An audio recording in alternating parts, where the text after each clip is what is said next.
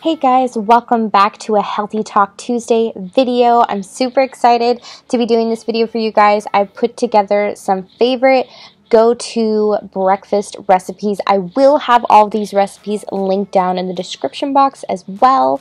And as of right now, I am making these overnight oats. You guys, these are super easy to make. You can make it the day before or the night before and just have it ready to go, especially if you know that you are in a time crunch um, when it comes to the mornings. And this is just super easy. My go to. Love it. You guys have to try it.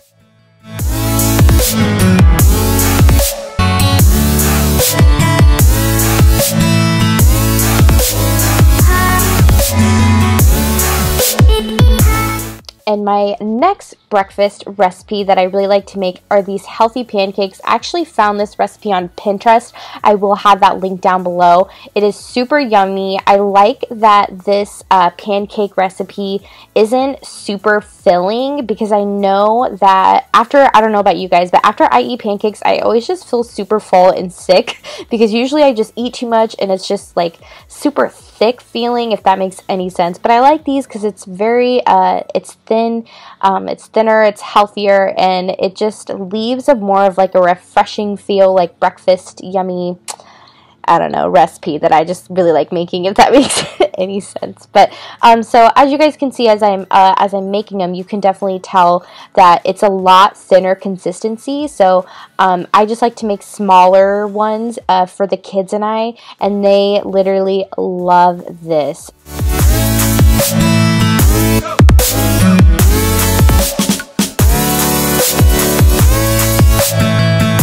Instead of using syrup, I like to use this PB Fit. Um, I like I like it because it comes in this uh, powder consistency, so you can add more water to make it to a thinner consistency. So that's kind of why I like to make it more as like substitute it as a syrup because I feel like it's a little bit healthier than just like pouring sugar all over it. And that's how it looks. It doesn't look super appetizing, but it's super bomb.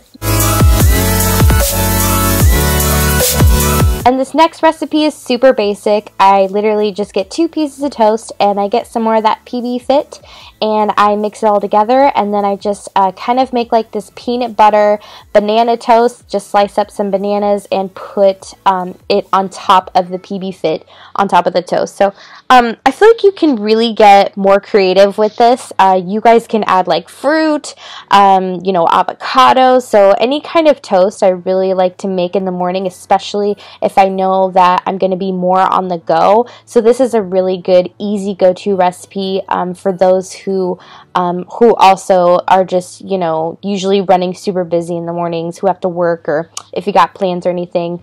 And I just love it because it's very filling and super yummy.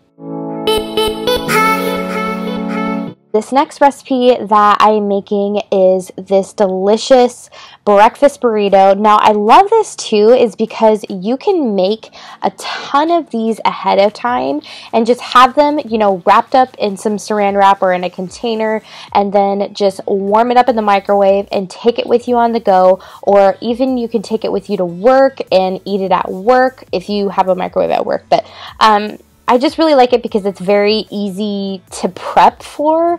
Or if you're having more of a relaxed morning, it's nice. It's a nice way to just kind of uh, kind of go a little bit extra mile besides just eggs and bacon. Um, and so as you guys can see, I'm just shredding some cheese here, putting some cheese on it. Super bomb, love it. And then I also like to add salsa. I don't know if anyone else has thought of that, but I love putting salsa on my uh, eggs, and it just makes it tastes a little bit, uh, gives it a little bit more flavor than just the plain cheese and eggs and bacon, if you guys feel me. So this is a super yummy recipe that I like to make as well.